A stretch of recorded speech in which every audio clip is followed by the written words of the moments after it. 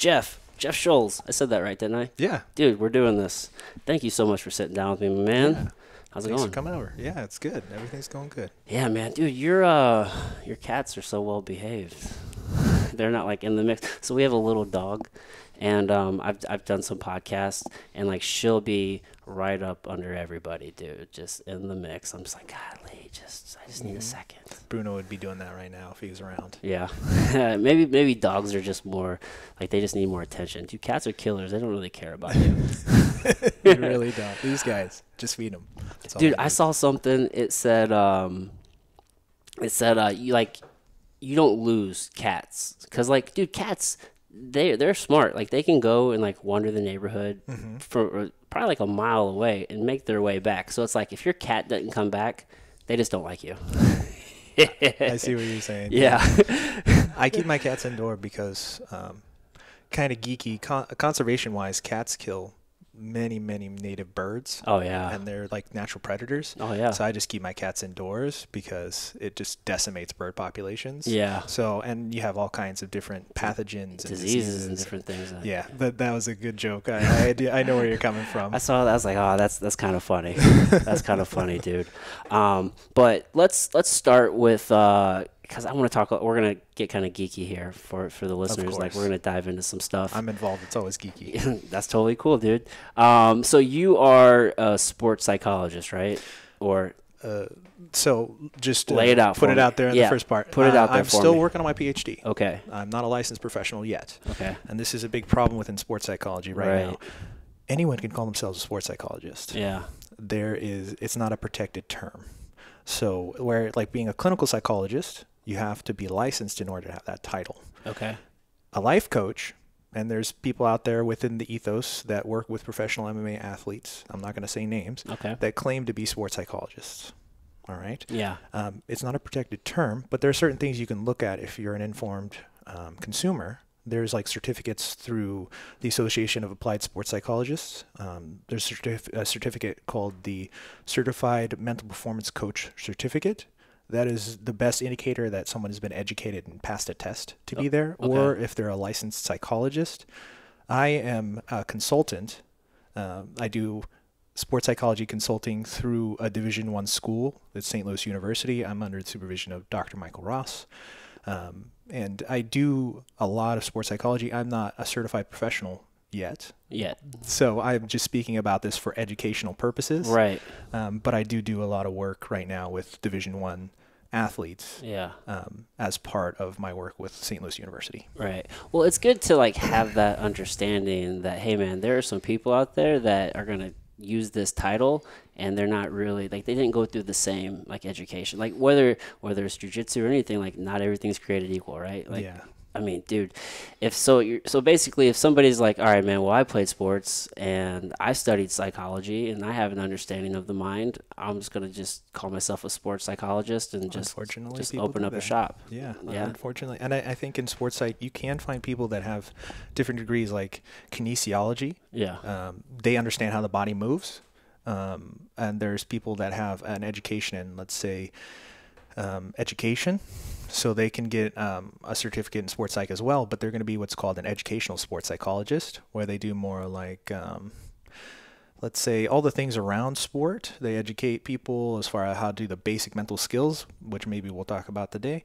Um, but I'm in that brand that's called the clinical sports psychologist, where they actually work with athletes to improve performance, but also athletes are humans too, and they deal with mental illness like anybody else. Yeah. And you know, imagine coming back from an incredible injury. There's some mental barriers that occur. It's a big mental barrier. Yeah. Yeah. Yeah. Have you gone through any injuries that you had yeah, to? yeah. Uh, so, um, long story. Uh, I I trained all year with this guy named Brian Marizzi. He was my teammate back in the day when I was purple belt. Yeah. Um, I don't know if he's competing as much anymore, but he was a killer back in the day. Yeah. Trained all year with him. We were both purple belts. Went to the world championship. Like the year before that, I had medaled, got third place at blue belt, and then came back. I was really hoping to get something at the world championships, IBJJF. Yeah. And then my first fight was with my training partner. Oh, that's a bummer, dude. It broke my heart. Dude, so I I mean- would go out on my motorcycle and cruise around. I'll make this quick. And I just, I lost it, Oh, shit. shattered my foot. I had to go through multiple surgeries. I wasn't. I was off the mats for like a year collectively. Oh wow. So it's finally gotten to the point where my foot doesn't bother me anymore. But I've had multiple incredible injuries that it was tough working through those. You know, getting back into the competitive environment. What year was that? 2012, I want to say. 2012. Dang. So, how long do you feel like it took you, like mentally, to kind of get to a place where you're like, man, I, I trust, you know, this limb, my, my foot, like, because I've I've uh I've torn my rotator cuff and, and had like a slap tear Yeah. and uh, or my labrum rather, and had like a slap tear on my rotator cuff, and like that recovery, like I can just remember after surgery where like you can't use your arm, you know where you were, and then I mean that's hell in itself because you're constantly like thinking about like getting back to this place, Yeah. but you're so far behind like physically, so like Mm-hmm. it does wreak havoc on your mind. But then once you even get back to training, there's still this whole other barrier of even like trusting whatever was fixed, whether that's Right. your shoulder, or your knee, or your foot, or your ankle. You know what I mean? Yeah, for me, it took me years because I had to get some plates taken out. I had internal fixation, so I had like two plates and 13 screws, and until I could pull that out, and they had to put bone chips in. Long process because you're Yeah. always walking on your feet, right? And Yeah. I, I came back too soon, and I cracked the plates because I was trying to play, uh, you know, train jujitsu again. Yeah, It took me years before I was able to have people put me in a foot lock and not panic. yeah, You know, now it's my stronger foot. You know, Mhm. um, I'm not going to tell which uh, which foot it is for competitors out there that might be hunting for it. it's a Um, secret. Uh, you can see, you, you know which one it is. Um, so with me, it took me years, but there's that component of just being in that environment and and being exposed to that situation where, like, let's say somebody's sprawling on your shoulder, Yeah, you're going to be like very hesitant. And the more you get put in that situation and you don't have a negative outcome, the more you're going to habituate or get used to it. You build a tolerance to that. yeah, And it, you know, there's ways that we can do that in working with athletes. We can set up situations, work on whatever mental barriers, maybe something they're saying to themselves is getting in the way, yeah, working through emotions that might become that come as part of that. Um, so usually it's a protocol between four to six weeks that we work athletes to work through an injury. okay, Um, there's a lot of different, and like you could use some kind of imagery technique sometimes that helps. You can also put them in environments where they just learn how to contend with whatever stress is there for them. Also managing their stress, which is usually related to yeah, um, their injury, and then also getting them to have some social support from their team. Because oftentimes when we get injured, we're not hanging out with our buddies anymore. so secluded. yeah. yeah. and you get isolated, and that makes you feel worse, and that actually prolongs your injury. Yeah, So we get them to seek social support and do all these things. For me, it took me years to recover. yeah, man, it can, and it's funny because like whatever you fix is usually coming back just way way stronger. You know what I mean? Like my my other sh- like the shoulder I got surgery on is better than the other one. I feel like you know what I Mhm. mean. But it just it does it takes time to like get to that place to where you really trust it. Yeah. um, I found that going it you mentioned like the the social isolation part like you know if you're not going to the gym or whatever the case may be I found just going to technique and just like sitting there on the side was a big help Yeah. Yeah I would do that with my crutches all the time. yeah dude just just to like uh, just take it in like what's going on there if you're just like watching and you're not participating like what's happening there how can you get better doing that I think um, you can keep, keep some mental sharpness even though you're not able to do techniques. Um, and that's what I've been doing a lot during this pandemic is just visualizing and, and watching actual fights. You can mentally rehearse without, let's say, um, having your body physically. So you're not going to have the conditioning component, but you'll have the decision making capabilities. yeah And there's like a lot of things that go into any kind of technique, right? There's a timing, there's a, an awareness, there's um, being aware of your own, um, let's say, balance in doing the technique, right? Yeah. And, and I think going out there and watching, being part of that environment keeps you motivated, keeps you focused. Where a lot of times if we get injured and we start playing video games, you know, that, that time, that habit that you would normally have where you go to the gym every Tuesday, Thursday, or whenever it might be. right Now that's I'm gonna go play Warzone instead. Right. You know, Yeah. then you just get out of that environment and it's hard to pick it up again. right You know, we're just going to the, the school and watching technique and being around, that social piece, but you're also getting that habitual piece that your body just knows. eh, Okay, every Tuesday, Thursday at this time, I go to the gym, yeah which is an important part of motivation as habit. Yeah, yeah, because like the the body and the mind is so interesting that it's always looking for um, like routine or something to make sense of, right? So we have a lot of little triggers, and then if you don't like environmental triggers, you know what I mean? Like um, when I was listening to your podcast, you're talking about uh, the podcast you did, Josh McKinney. For all you all you folks listening, the I Suck at Jiu Jitsu podcast with Josh McKinney. Um, but you're talking about how like you like to study like in the room that you're going to take the test in because like environment will have these like these triggers for your mind, right? That's context uh, context uh, related uh, memory. So like there's cues in the environment, uh, context dependent. There we go. So uh, there's cues in the environment that will um, cue your memory, and that, that's a lot of times how our memory works. Is it, it's cued. Uh, that's how we recall things is by having a cue. Yeah. So uh, you know it's as simple as like mnemonic devices that we have. You know like. Um, Never eat soggy waffles to remember north, south, east, west. Okay. Right? Yeah. That's a mnemonic. It helps us remember those things Yep. Um, studying cues in the environment allow you to, to bring up whatever knowledge that you need and, and by training or visualizing yourself in that environment even you can place down cues for yourself to be able to perform and remember techniques and you know it's just funny how the brain works. So why don't you hack and use the things to your benefit? So like state dependent also so if you're always training after you drink a cup of coffee you should be drinking a cup of coffee before you go to compete Yeah. you know, everything should be the same. And that's why pre performance routines are really, really important for athletes because Yeah. you're getting that same state every single time. It's just as simple as doing the same kind of warm up, make sure you eat the same kind of food. Yeah. You know, there's a story, and I can't confirm it. Um, and I'm, I'm going to espouse it right now, but like Michael Phelps would eat the same thing, have the same routine, wake up and swim the same amount of laps Right. every day. And then he'd do the same thing before you compete. So he already knew what to expect. Right. Right. How much um how much studying have you done of like flow state? Quite a bit. Yeah. So have you read have you read like Flow by like Csikszentmihalyi? Uh, cover to cover, probably not, but I've I've gone through it several times. Yeah. Well, I mean, there's several books. I mean, like whether it's that one or like Stealing Fire. Mm-hmm, Um, what was the other one by the same guys? Ah, fuck. It was Stealing Fire. There's another one before that. Was there like a Superman one? Yeah, the Rise of Superman, Mm-hmm. right? And a lot of that's talking about flow state, and um, you know, a, a lot of getting to that place of flow state are your routines, Yeah. right? Like your rituals. Like, what are you doing to get yourself into that state? Yeah. I, I think that's a really important part. There's nine theoretical dimensions of flow that are important. And Oh, I, really? I knew this was going to come up, and I was like, I, I'm going to have to remember these right now. Oh man. Um, but there's like things as simple as like having a specific goal, having a balance between challenge and skill, um, being focused on the task at hand. Right. And you know we've done um, flow analyses of teams before, done team assessments, and then you make specific recommendations for particular athletes based on their flow profile. That's something that sports psychologists can do. what is a uh, flow profile? So you have like a, a questionnaire that you give to people, and then they have basically given this to thousands of people, and you can say based on their profile, how do they compare high or low on certain dimensions of flow? Okay. Um, like there's this one called like um, autotelic experience, which is how much they enjoy the activity. Okay. Some people just naturally enjoy the activity more than others. Some people, um, when they're in that flow state, things slow down for them Yeah. but that's really rare. Okay. Is it? Yeah, that's a really rare component of flow.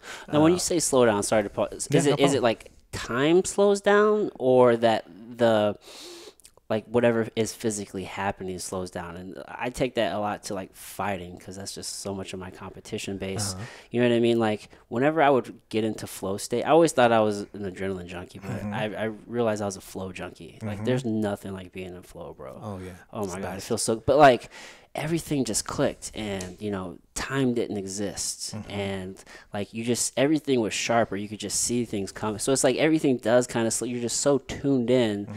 to where like this conceptual thing of time is. I mean, it's it's it's.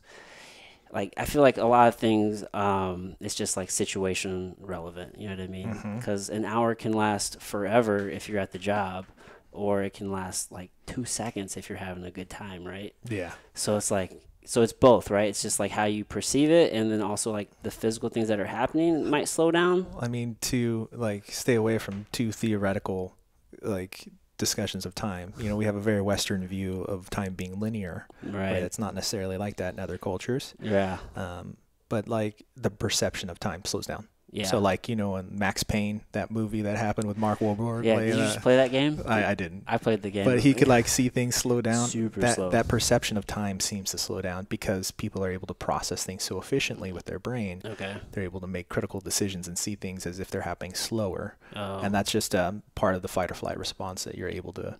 As soon as you get that adrenaline dump, your things go into overdrive. yeah. So that's just one component of flow. And, and just to, to finish off the point here. Yeah. Please do. Um, Sorry. yeah, you're good. Uh, so, like, if let's say the athlete is hitting all the other domains of flow, but they're not getting into flow every single time. So we say, all right, well, why don't you? Like, and we find this one component of flow is low for them compared to other people. We'd make a specific recommendation saying, all right, well, why don't you just try to have fun?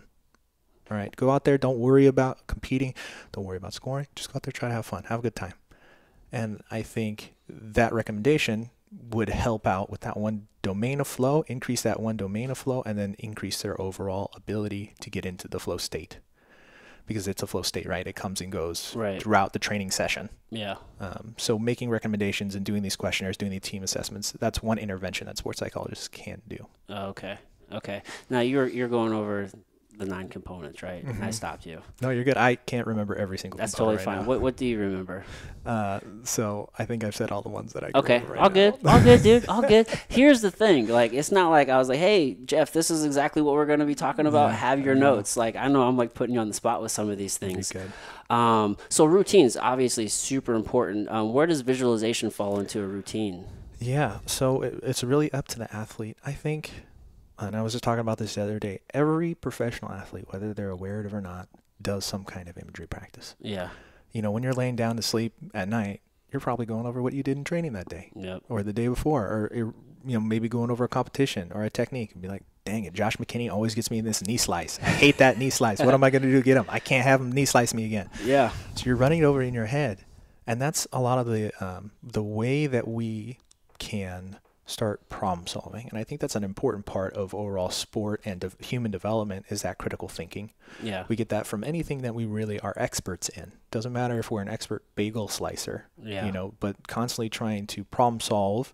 Um, and through imagery, we can start developing that ability to problem solve. And then we're also, while we're doing imagery, we're we're activating the same part of our brain, the mirror neurons in our brain. When we're seeing someone do something, we're activating the mirror neurons, but we're actually activating the motor neurons in the motor cortex Right. when we visualize. But the only thing is, it's not going from your brain to your body to make the motion happen, but it's making those neurons wire together, making them more refined, and it's it's sharpening that part of the decision process.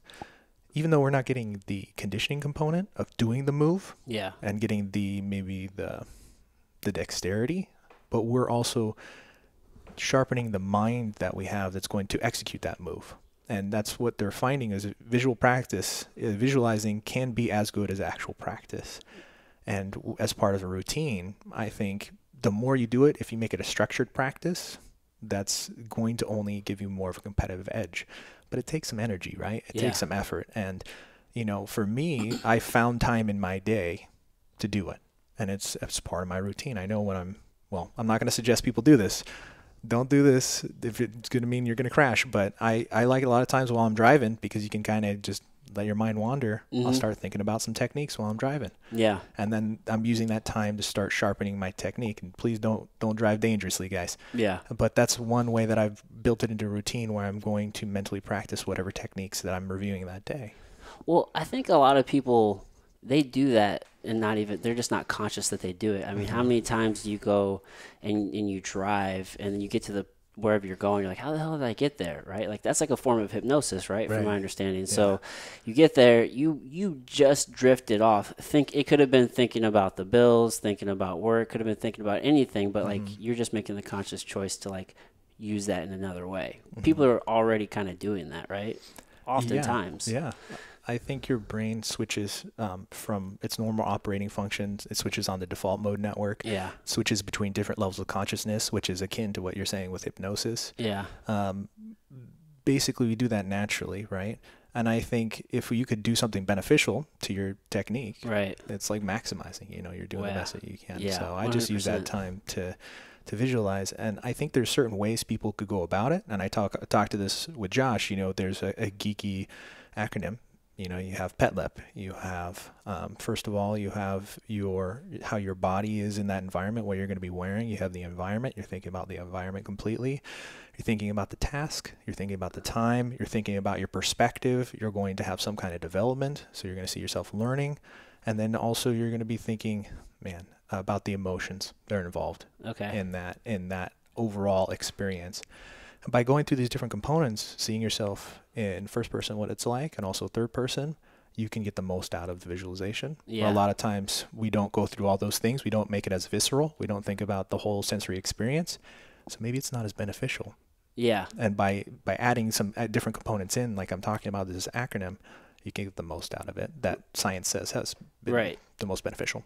Right, and like and, and, and you know using imagery and visualization like that can can apply to all areas of life, right? Not just mm-hmm. sport. It can be mm-hmm. it can be business. It can be family relationships. It yeah. can you can apply this. So this isn't just you know for jujitsu practitioners or you know you know for us, you know athletes. This is for everybody, right? Right. You I can mean, we use it to treat people that have PTSD.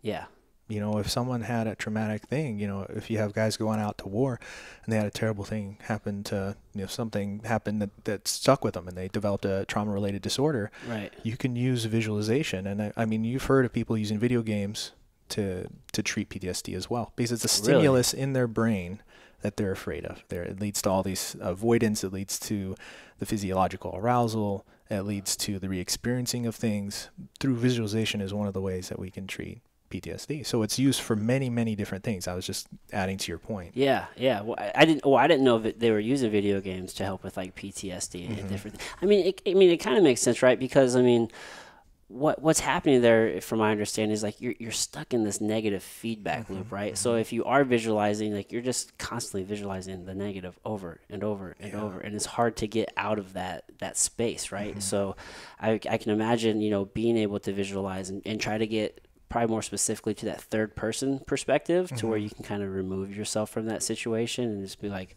you know looking at it and like thinking like hey man i'm in this negative this loop and I, I know and we don't have to go down this tangent but i know like this is where like psychedelics and different things like psilocybin are really coming into play in today's medicine right Mm-hmm. Yeah. like helping people get out of ptsd and these negative feedback loops and different things It changes the way the brain is organized right and it allows them to develop insight. Right have a different view of the situation.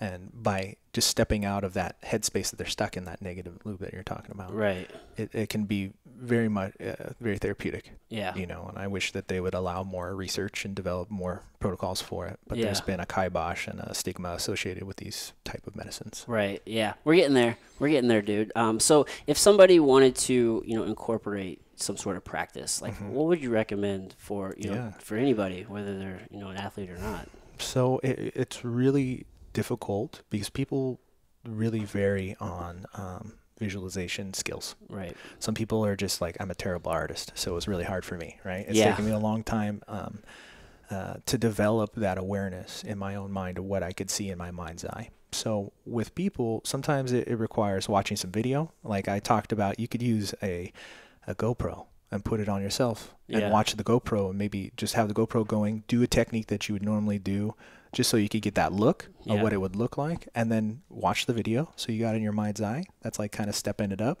kind of training wheels. Um, i would say it really depends on the person how complex the technique would be. You know as far as the first step it depends on the person and how complex they're able to think about jiu-jitsu Yeah. if you have a black belt or purple belt, you guys are like experts You've been doing it for many years, right? Um, where if someone's like a white belt, they may not be able to recognize the, where the body moves or how it moves or have all the imagery in their, their brain. So that's where you need to start stepping it up maybe taking baby steps like pictures or video Okay. to start getting in your head. Um, but with practice, they start developing. I would say it could be as simple as a very basic move, and then move on to series of moves, move on to whole fights. You know, you can make a mental fight and see how if the guy goes and tries to grab my leg, does a shot. This is what I can do. I can sprawl, Yeah. whatever it is. You know, you can you can make it more complicated as you go, and it might even be as simple as reviewing something that happened that day. Yeah. So, oh, today, you know, this is what happened. Josh McKinney did the knee slice. You know, this is the type of knee slice that he does. This is the grips that he has. And just trying to first start thinking about how you would react Right. with all these components that I talked about the environment, talking about the timing, talking about the emotions, all those things. Yeah, yeah. And then, so how how long would you recommend somebody start out? Five minutes, three Yeah. minutes? Um, I would say whatever their tolerance is. Yeah, Um, ideally, uh, the you know most research supports that you do it for you know around three times a week, between five to twenty minutes. A lot of people get bored in that amount of time. yeah, Um, some people get very excited. It's it's very common for me. If I'm thinking about competition, my heart rate will start going up. yeah, You know, but Yeah. if if you do it um, and you're finding your heart rate goes up, you can then engage in whatever kind of regulatory strategies you use during a competition. yeah, For me, I use a lot of mindfulness. I use centering exercises. I focus on what I'm feeling, a lot of bodily acceptance, and then that allows me to start to tolerate that experience, right. and that translates to my ability to be clutch in competition situations. Yeah. So you can actually visualize not only the technique, but you can visualize your own mental skills strategies Yeah, and and practice those mental skills so that when you need them, when you're under pressure, you've already trained them as well. yeah, So five to twenty minutes is ideal. If you go for an hour, great. Yeah. You know, but um, I would say if it if it gets boring or irritating or you get tired because of it, you know, like if it let's say it's before a competition, what do people naturally do before competition?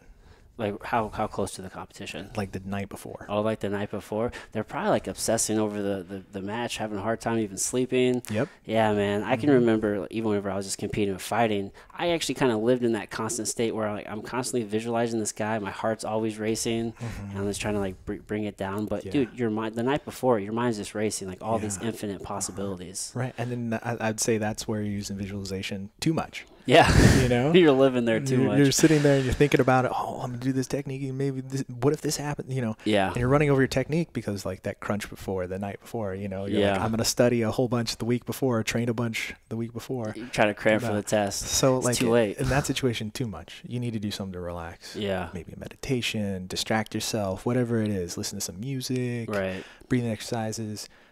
That's too much visualization the night before. That's gonna wear you out. Yeah, So, you know, five to th- 20 minutes is what I like to do on a, as a regular routine. The day before, you know, what I was doing, I was, I just recently competed in the Fuji Pro and I, I fought a very game opponent, um, Stephen Wyatt, you know, uh, for me, I, I had to drive an hour just like the far side of St. Charles to get over there, right? yeah, From- dude, it's all the way out there.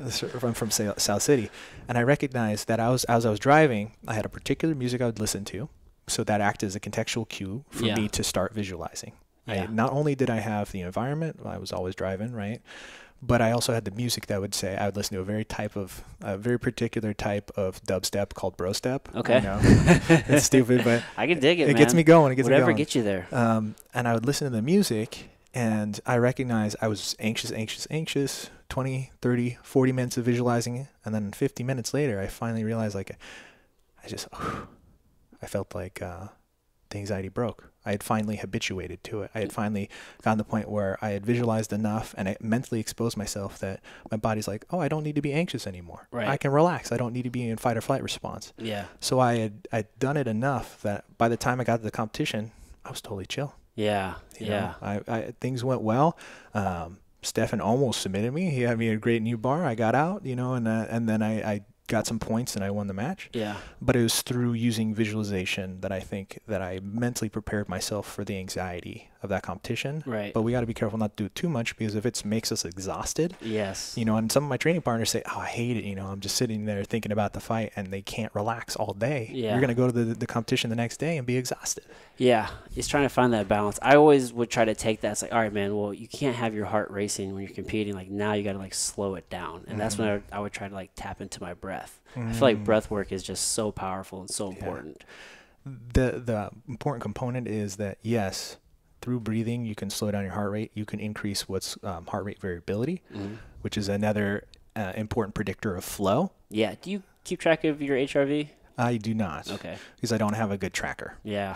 Um, you know, the iPhone's okay, Yeah. but uh, but it's not great. Like there's um, one HeartMath that I use a lot for working with athletes. Okay. Going through it, you know, you can go through a tough competition, do biofeedback, and see how they physiologically respond to Mhm. it, and then get them to learn how to um, like intuitively control their heart rate. Yeah. That's something you can get to do with them. Mhm. Um, for me, I don't track it. I use more of the breathing component because I like it as an anchor for the present moment, yes. which is an important part of mindfulness. yeah, I would agree. I would agree. So you have a regular breathwork practice? I do. What's that look like? So on a daily basis, I usually check in with myself as I'm going through work, school, Yeah. clinical work, all these other things I'm doing.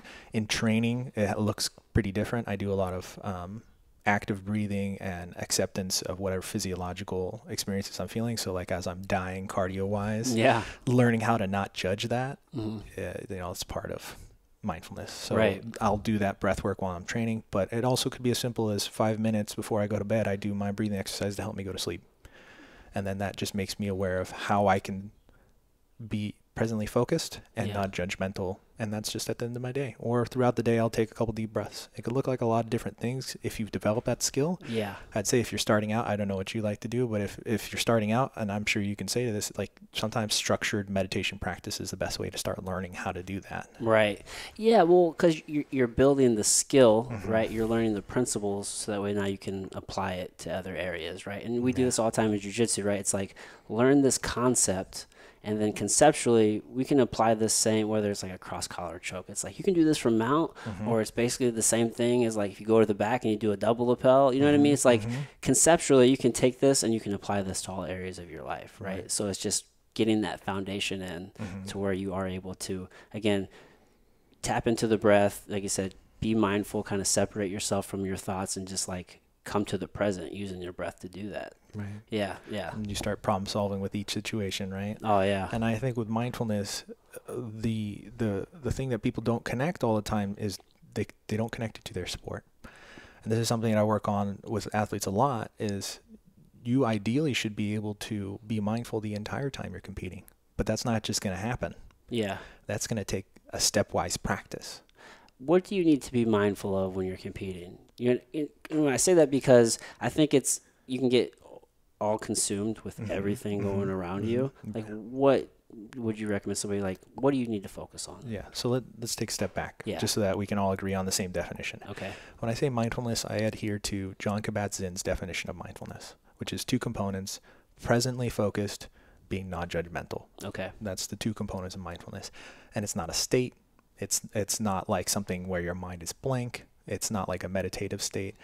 It's a part of meditation, yeah but all mindfulness is is a way of paying attention. okay And it's basically this meta attention of being aware of whatever comes up for you in that moment, being aware of the all the experiences that are there in that moment and be presently focused. You're not focused on what just happened a minute ago. You're not thinking about what's about to happen. You're thinking about exactly in the moment.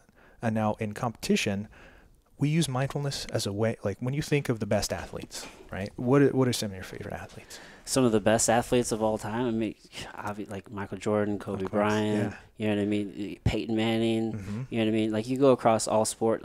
Albert Pujols was a great. Mhm. You know what I mean? Like whoever you. Obviously, I'm naming like St. Louis people and different things, but they're just. Michael Phelps, you mentioned one. Like, Mhm. dude, one of the, the greatest athletes now is like J'den Cox, who's this fucking phenomenal wrestler. This young kid, like, Yeah. so I mean, there's so many. Yeah, and I think when you see them compete, where do you see their focus? Are they laser focused? Are they kind of just like not really focused? Are they thinking about something that happened a week ago? Usually they're laser focused. All about the present. Yeah, and I, I see that in so many athletes that when they're really on, like Craig Jones, when I see him go out there and just murk people with heel hooks, Dude, Craig, yeah, Craig Jones, Gordon Ryan, like if we're talking jujitsu, like these guys are insane. when you see Craig Jones, he's relaxed. You know, he's talking to the crowd, he's hanging out, he's completely in the present moment. Mhm. Where you see some competitors, they're staring at the ground, they're listening to their music, they're they're someplace else. Yeah, You know. yeah, So for me, that's what I used to do. I was try to pump myself up and be super like agitated before I fight, and then I realized it was too many emotions, yeah, and it was very distracting trying to control the emotions. So I went on to this other thing where I would start accepting and just allowing myself to feel whatever is there. yeah, So mindfulness allows you to be completely focused in the present moment, what comes up for you, not get distracted by whatever experiences are there. right. Because a lot of times we'll have something come up, or we'll be like, "Oh, this is a tough fight," and you think, "Oh no, I'm not going to win this." You're not present. You're not focused. You're thinking about your points. You're thinking about what's going to happen. You think, "Oh man, I've been cutting weight. I just want this to be over." Right, You're not present, right. and then people will defeat themselves because they're not present. They're That's- not focused. That's so true. That's so true. And um, I feel like I heard, I don't know what it was, but it was like if you're anxious, it's like you're living in the in the future, right? And if you're depressed, you're kind of like living in the past. Yeah. And then it's like kind of being present is going to dissipate that. Yeah, and I work on on that with a lot of people that emotions have a purpose. You know, um, uh, aside from whatever spiritual beliefs that you have, we can say emotions have a purpose. Yeah. Depression is there because we perceive a loss. Anxiety is there because we perceive a threat. Fear is actual threat in our environment. Uh, guilt is that we've somehow impaired a relationship that's important to us. You know, each emotion has a specific context. Anger is that there's a goal that we have that's being impeded. Mm. That's why we have anger. So each emotion has a purpose, and if we accept that, no matter what, we're going to feel emotions. right. You know, you it takes that weight of oh, I need to control this. I can't feel this thing, Yeah. and then it's one less thing that you need to worry about while you're trying to compete. Yeah, that makes sense, and then that's that being non-judgmental, right? Like Mhm. detaching yourself. Um, and Which just is hard. it's it's super hard. I mean, you know, if if we're talking in the context of uh, just like meditation, right? Like, Mhm. I've oftentimes you hear like you are not your thoughts, and that's kind of like where the reps come in, right? Like we'll have all these crazy fucking thoughts, and it's easy to like get attached to this thing, Yeah. and then to start identifying with that thing. But if you are trying to like, you know, focus and you know, uh, maybe just breathe, you, you'll see these thoughts come and go, and like your Mhm. your job is to kind of get back to center and just be present and like not get attached to any one thought. You know what I mean? Right, Like, is- yeah. am I explaining that well? Yeah, I yeah. mean, that's kind of like my The understanding of concept meditation. is is is like that is one byproduct that comes because of meditation, and they call that cognitive distancing. okay. which is like so like let's just say in psychology one of the predominant models is that um, thoughts are connected to emotions which are connected to behaviors and they're all interconnected Yeah. so if we change any one of these things we'll change everything else and one of the ways because we're competing right you're going to have the thought oh my knee hurts oh my shoulder hurts Yeah. and you're like, oh, I just hurt myself. Whatever it might be, it could just be a cramp. Right. But that thought will distract you and take away from your overall ability because attention is basically only so much capacity that we have. It's like a flashlight. And if we're using some of our attention to focus on my knee that hurts or my shoulder that hurts, it's taking away from my overall processing ability to think, oh, I got to counter this move and get this guy in this technique. You know, it takes away from your overall ability to process. And we only have so much that our brain is capable of doing at any one time. Right. So if we're focused on that thought, oh, my shoulder hurts, it takes away from your ability to, to focus and compete and think critically in Yeah. that moment and perform to your best capabilities. So that that meditation component that we're talking about, that cognitive distancing allows thoughts to come up and not necessarily influence emotions or influence behaviors, hmm but it also allows you not to get distracted. Right. So that's why mindfulness, even though it's kind of like been very much popularized by broader culture, Right. it's kind of like woo woo, hmm it is one of the best techniques any athlete can practice. One hundred percent, and it's like rooted in science. Mhm. Um, I don't know if uh, there was. Uh, I don't know how long ago it was. I don't know if it was like in Vietnam or when it was, but there was a a, a, a soldier. He was a prisoner of war, and uh, I feel like it was Vietnam. Either way, during the entire time, it was like eighteen months or something. You know, he was uh, he was captive. To help the time go by, like every day, he would play uh, eighteen rounds of golf on his favorite course. And then after, have you heard this before? Mm-mm. Oh, and then um, after all this time, um, whenever he finally did get home and get out, you know, get out of war and whatnot, he went and played the 18 rounds, and I think he played um, like better than he'd ever played before. And it was just like every every day, like playing that same 18 holes, walking the course. You know what I mean? Like going through the motions, and Yeah. it made him better at golf, or it, just as good. You know, Yeah. before he left. Right. You know what I mean? it. Yeah, and I, they've done studies where they've had people practice shooting um, free throws with their non-dominant hand, Yeah, so their left hand, and then they had people visualize it. yeah, One would practice, one would just visualize, and both groups were the same when they Mm. test them afterwards. So that visualization is there. I think, you know, if you use visualization to cope, like if you're having a bad day, you do some happy visualization, it can be motivating for you. yeah, you know, imagine yourself visualizing and succeeding. You know, imagine if you're going through it, you know, you're losing all your competitions, you're trying your best to be competitive and you're just losing.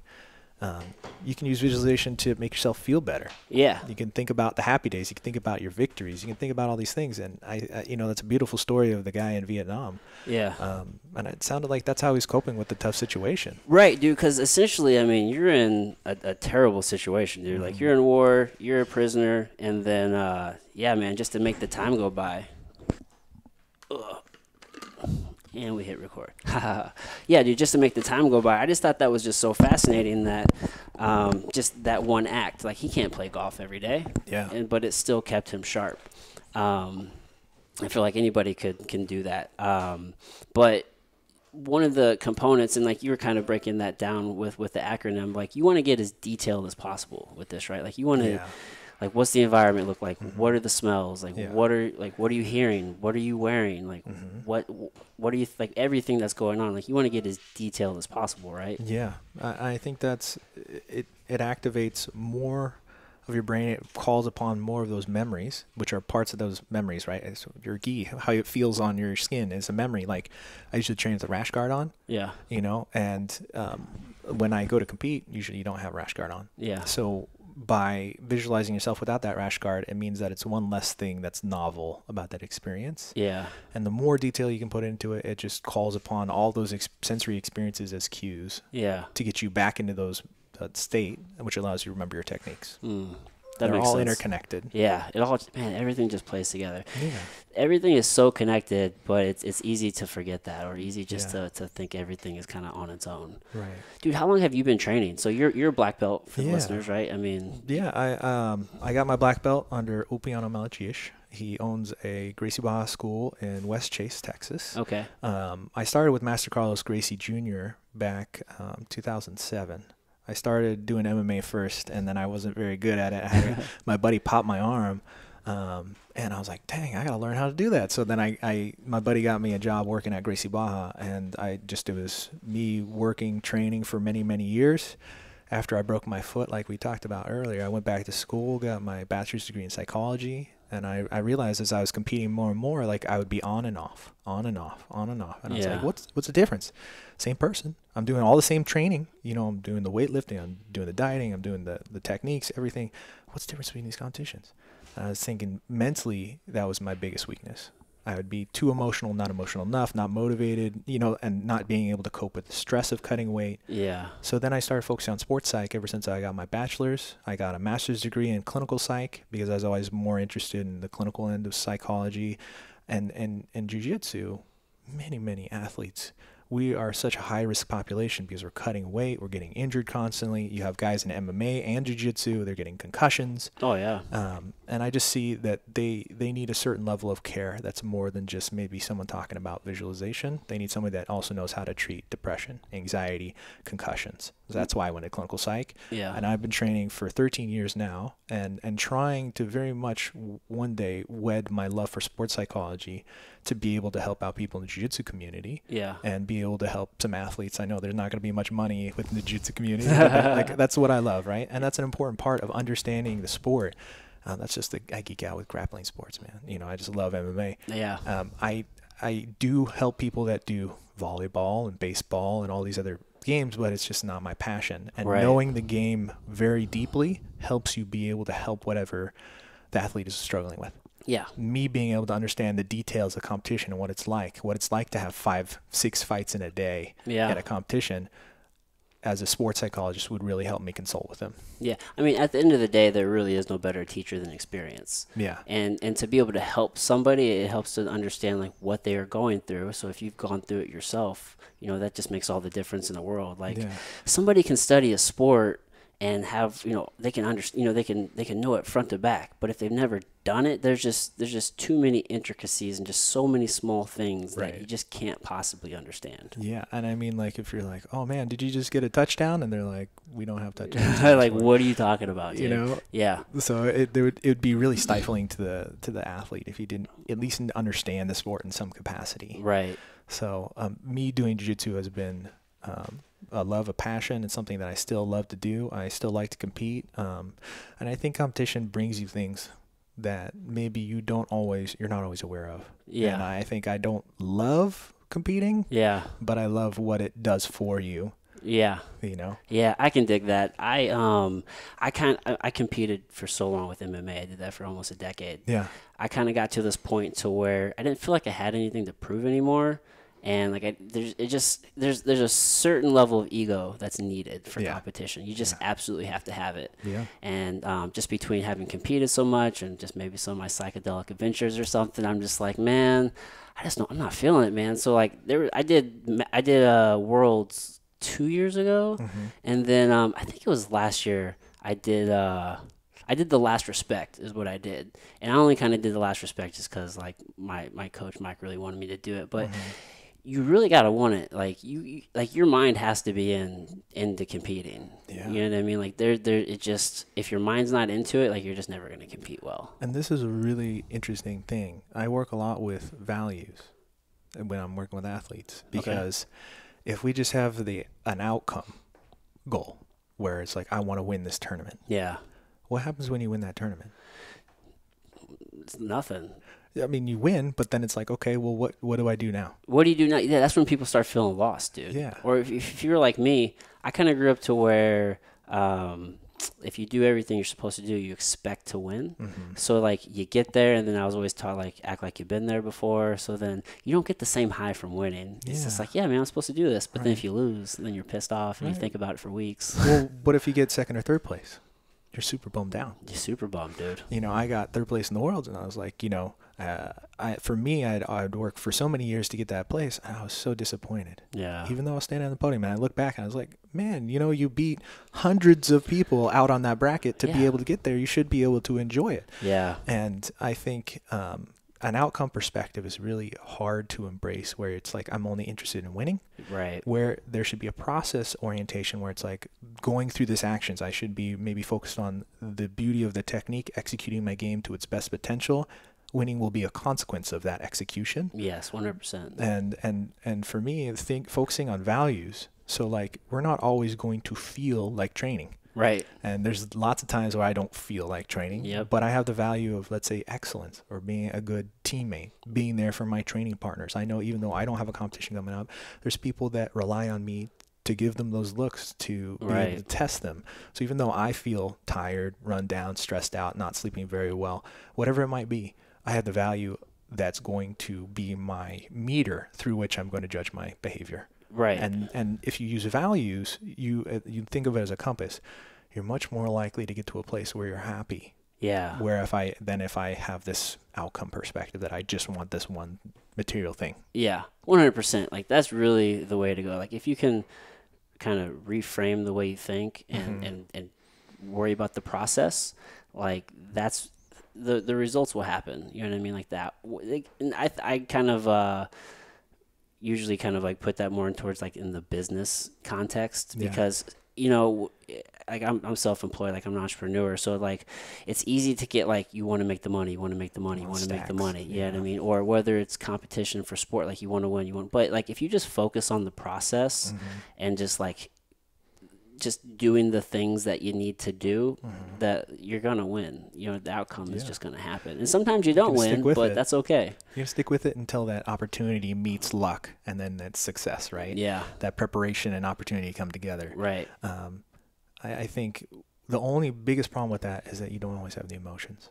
Where yeah. We talked about emotion earlier that and I, I don't think i said this but emotions their ultimate function is to motivate behavior. Hmm um, so that's why we have anxiety is to get us to do something to prevent an outcome. Yeah. That's why we have anger so that we're energized to you know if someone cuts you off yeah. you're flashing your bright so that they don't cut you off again Right. that's the intention of anger you know when you want to fight somebody. They did something that, to harm you and your goal so you want to fight them so they don't do it again. Right. So emotions have that motivating component. The problem with using values is you don't always feel motivated.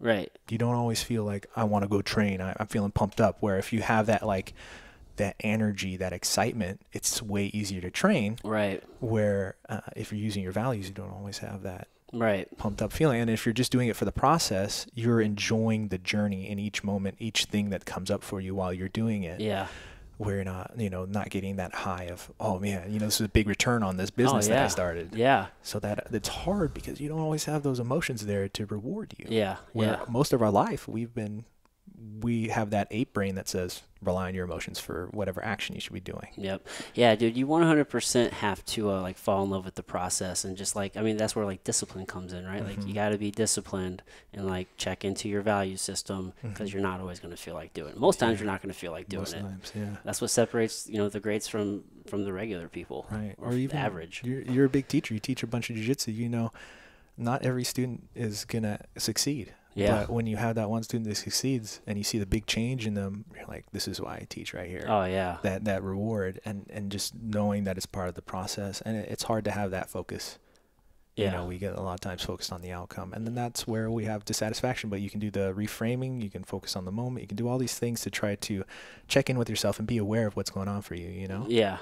Oh, this dude wants my shoulder right now. He wants the attention. That's Well. okay. Do you, do you teach jujitsu now or Um, I do not. Okay. I, I did many years of teaching. Um, I think for me, uh, I love jujitsu, but when it became a job where I was working on, on nonstop and I was blessed to have the job that I had, I was so grateful that I got the opportunity. I think it just made it so that I wasn't doing it as something pleasurable. It Yeah. became a job. yeah. So now that I'm doing more focus on sports psych and working on my degree, being a psychologist, having jujitsu be kind of an outlet, Yeah. being able to maybe teach people that I train with, like when I'm training, people ask me questions, I'll share whatever they I did, and you know, share whatever techniques. Oh, this is how you you can get out of my half guard or whatever it might be. Right. Um, for me, that's the only teaching that I'll ever do. Right. I think um, it'd be great in the future maybe to have something like that. But I think, like I said, there is this weird component when um, when you have external motivators, so like money Yeah. takes away from intrinsic motivation, yeah. which is my love for the sport. right. And there's a lot of studies that they've done on that stuff. Yeah, yeah. I mean, money is only so much of a motivator, right? Like they've done things. It's like up to X amount of dollars it'll motivate somebody, and then past that, it's just like it's nothing. You know what I mean? You definitely gotta want to do it. Yeah. for sure. I've been um, I've been teaching 6 a.m. jujitsu like Monday through Friday. Super rough. I actually don't mind it, man. like it's waking like up early? Okay. I do. I wake up early anyway, and um, I kind of started sleeping a little bit with everything going on. It's like fuck, I don't got anywhere to be. Like I can I will, will sleep in a little bit, but um, I've been training with some guys, and man, like it feels good to like wake up and like go teach these guys and, and see them get better, and Mm-hmm. then you know like you'll teach them a concept, and they probably have already seen it a couple different times, but then like then it just clicked, and it's like oh man, my jujitsu game just like completely got better.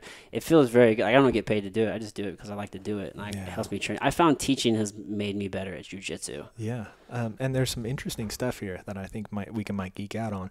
Um, you are making some movements which are intuitive, explicit. So you're ma- you're putting a language to a movement Yeah. that you have to explain, Yeah, but it also makes you more likely to choke under pressure. really. Yes, Oh, there's some wow. interesting research where, um, and some of the best athletes that I've seen, they don't always know what they're doing. They're just like, yeah, I just went out and this Did happened it? Yep. because they have it implicit. And Mhm. and by making it explicit and using language, it's actually more likely that your brain, when it processes a move, it has certain chunks in the move, right? Yeah. We we chunk things together. So like a phone number, here's an example of a chunk. We say da da da, da da da, Yep. da da da, da da da, right? We have those four chunks that we Right. use. Right. Right. And that's for mem- memory, memory efficiency. Right. And the same thing happens with the technique. We have certain chunks. And if I start focusing on one component of that technique, let's say I'm under pressure, there's a lot of theories about what goes on under pressure. Yeah. One is that we double our efforts to focus on the move because we don't want to fail. Yeah. But by doubling it, it takes it apart instead of making those efficient chunks, Mm-hmm. and then it fails. Oh, really? So when we teach, it actually could set us up for choking under pressure. Oh, wow. I've never thought of it like that. That's interesting. My experience has been that, to your point, like I, I naturally did these things with my body, and I didn't necessarily understand like what exactly I was doing or why that I like why I do it. But like having taught kids class for I guess three years now, and then um, you know teaching adults some. I found that like when I have to like really think about what I'm doing, it's helped me. It's it's actually made me better because it's like, oh man, I do this, and why do I do this? Oh, because I do this, and um, it's just like if you're just focusing like the fundamentals, like elbows in or this here, his like it just it just helps me anyway focus on just like just the little the little details that will put everything together. Yeah. And then maybe it's just like I'm at that that point because I've been doing this for so long. Mm-hmm. Um, I think there's a, a big piece to uh, to like time and belt. Um, I feel like some people you can have some amazing grapplers and they can just start doing jujitsu and they can crush upper belts just because they're physically good enough, but they don't really have the understanding Mm-hmm. of jujitsu. You know what I mean? Like I always think of. Uh, I always say like jujitsu is like you're looking at this problem, and the longer you look at it, like the different possibilities kind of start coming out at you. You know what I mean? Like in the beginning, man, you know when people are uh, just starting jujitsu, I always say it's like uh, just like drinking from a fire hose, man. Like you're just getting all this information, and you feel like you're never getting better, and you can't really comprehend it all. But really, man, you're just trying to survive, and you're just trying to get like this foundation, and a lot of that is just like understanding the positions and like mm-hmm. learning how to move your own body, and then we can start like fine tuning this thing. So. Mm-hmm. I don't know if it's just that I've been looking at the problem long enough, and like for me breaking it down um, after having done it for so long has just like helped me because mm-hmm. I can remember feeling like I could never teach, like I would never get to that point. It just didn't make sense. Yeah. But since I've been doing it, it's just like, man, yeah, I do do this, and it's actually kind of helped tighten up my game. Yeah, I, I think it also you're developing mem- mental maps of Yeah. techniques, and um, so like experts. I talked about this with Josh a little bit. The experts think about things differently Yeah. than novices. hmm So um, a good example is like Danaher.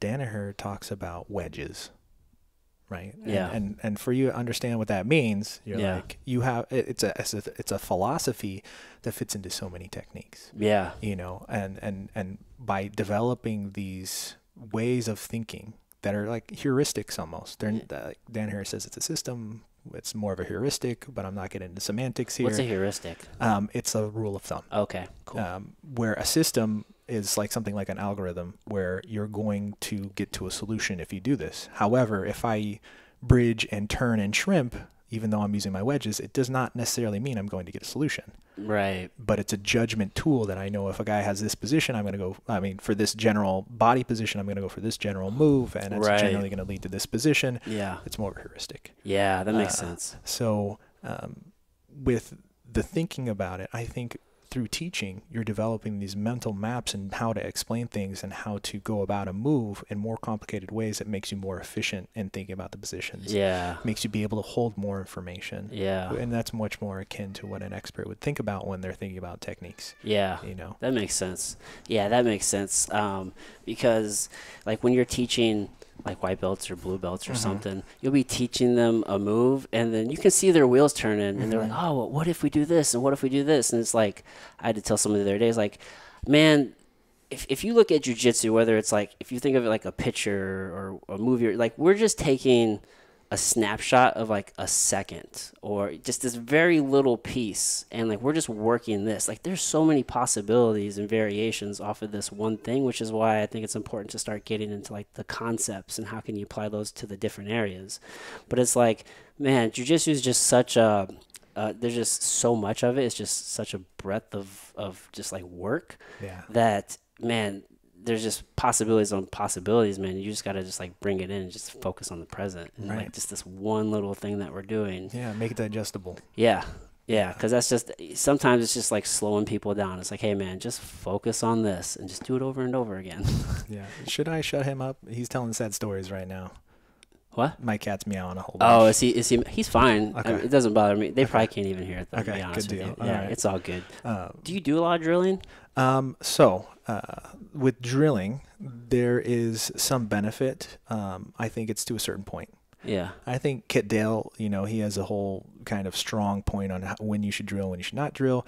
And I look at experts and I, I think Roger Gracie said one of the best things you can do is specific training, um, which is akin to drilling, yeah but it's not like something where I know there's some schools in the area that, that really focus on doing a move 10,000 times or something like that. yeah Um, and I, I admire their discipline in doing that. But I also think that there's a certain amount of diminishing returns. yeah So you need to do a move a certain amount of times to get the interoceptive experience, to be able to do that move, to have the dexterity to execute it.